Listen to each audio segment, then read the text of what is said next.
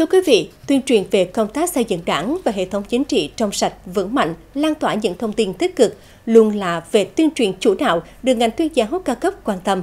Bởi đây cũng là phương thức truyền thông hữu hiệu, có sức lan tỏa lớn, góp phần bảo vệ nền tảng tư tưởng của đảng. Thời gian qua, giải báo chí toàn quốc về xây dựng đảng, giải búa liềm vàng luôn được xem là giải thưởng quan trọng trên mặt trận bảo vệ nền tảng tư tưởng của đảng, đấu tranh phản bác quan điểm sai trái thù địch, đấu tranh phòng chống tham nhũng tiêu cực lãng phí.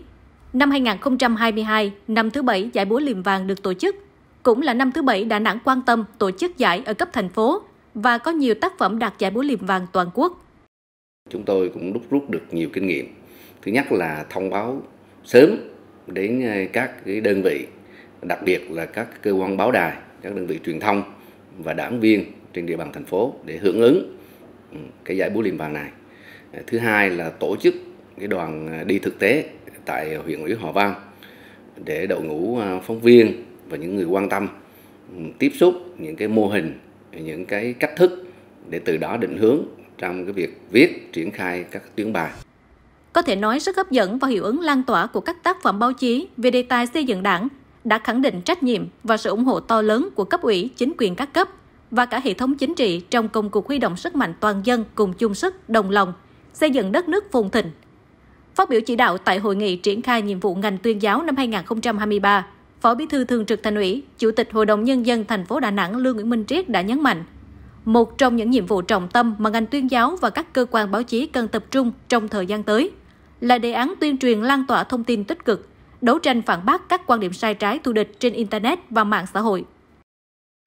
Tập trung triển khai cái đề án lan tỏa thông tin tích cực. Cái này chúng ta cũng đã có cái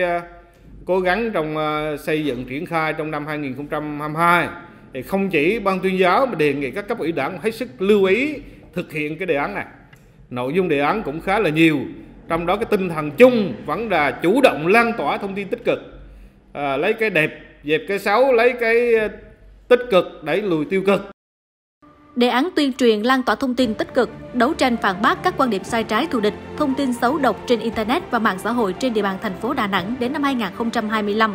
Tầm nhìn đến năm 2030 cũng được xác định là một trong những nội dung quan trọng của công tác xây dựng đảng trong bối cảnh hiện nay. Đây cũng là nội dung được ngành tuyên giáo Đà Nẵng quan tâm, chỉ đạo các cơ quan báo chí bám sát, cụ thể hóa qua các vệt tuyên truyền, góp phần thực hiện có hiệu quả chủ đề năm 2023 của thành phố Đà Nẵng, nằm tập trung khơi thông các nguồn lực, thu hút đầu tư, giữ vững tăng trưởng kinh tế và đảm bảo an sinh xã hội.